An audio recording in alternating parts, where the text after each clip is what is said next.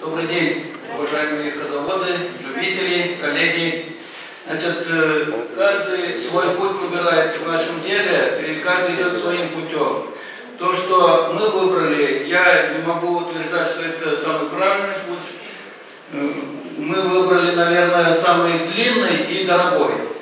Э, когда, когда идея эта пришла в голову, я, к сожалению, сейчас даже не могу вспомнить, но когда задумали, поездили, поизучали и обратились в прямообъединение наше региональное, и нам посоветовали или нашли козочек молодых э, КФХ Русь. Мы 50 козочек закупили в 2008 году.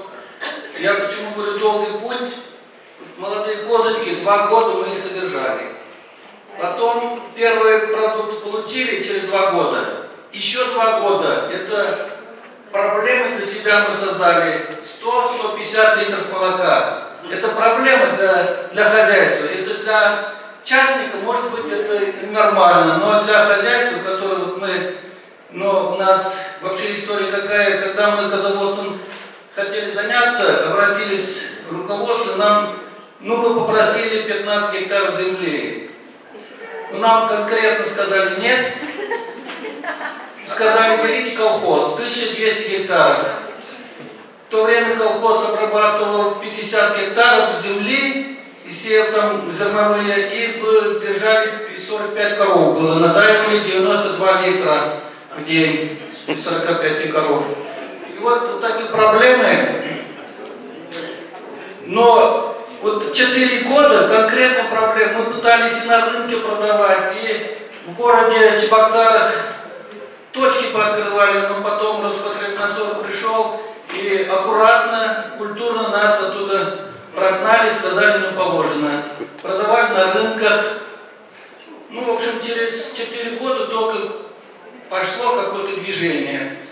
Тут, когда уже, к, счастью, наверное, вот мы, Светлана Ивановна не даст у нас не было падежа абсолютно тут вопросы были, у нас падежа не было. Помогли нам соседи, Владимир Тарасович с производителем. Потом мы э, в Московской области тоже приобрели двух производителей. А в этом году сейчас опять нужно обновлять. Уже все срок проходит, будем обновлять. Вообще, ничего нового я не сказал, секрет не раскрыл, по той одной причине, что я их просто не знаю секретов. А трудности, трудности знаю. Это первое, сбыт, потом персоналы, ну и там, много трудностей. Конечно, сегодня, сегодня со сбытом проблем нету. По причине, что у нас под боком сильное хозяйство, Толукос, они нас выручают, все наше молоко себе забирают.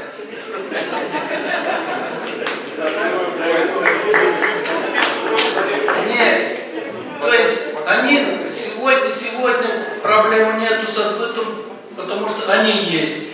Но если они окрепнут или что-то, у нас другого сбыта нету, мы даже не, не видим, куда мы что. Переработки у нас нету переработки нету. Но развиваться мы намерены. Мы вышли сегодня на положительную рентабельность. С 2008 года, в этом году первый раз почувствовали плюсы. Денежные выражения я имею в виду. И интерес. Мы теперь вот вообще уходим от коров. У нас же был колхоз, он и сегодня существует колхоз, но мы коров распродаем, оставляем чисто коз и будем заниматься только козами.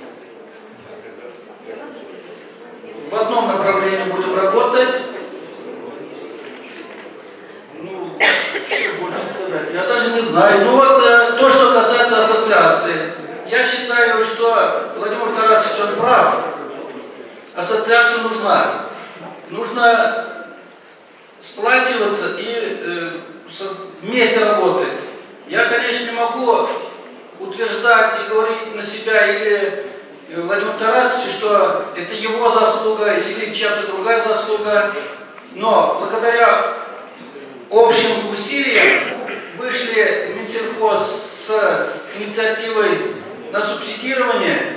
Еще раз повторяю, я не могу утверждать, что это наша заслуга, но мы получили первые результаты, и мы с вами это почувствуем. Субсидирование на молоко уже подписано правительством. Ну дай бог, лишь бы не послали. Нет, это уже постановление есть, и, решения будет. Поэтому я за ассоциацию, но козье молоко, вот как коллеги говорили, коллеги говорили, э, сегодня звонков очень много. Проблемы с козликами, что с ними делать? Головная боль, а козочек не хватает. Спасибо. Пожалуйста. Козы, надо заниматься.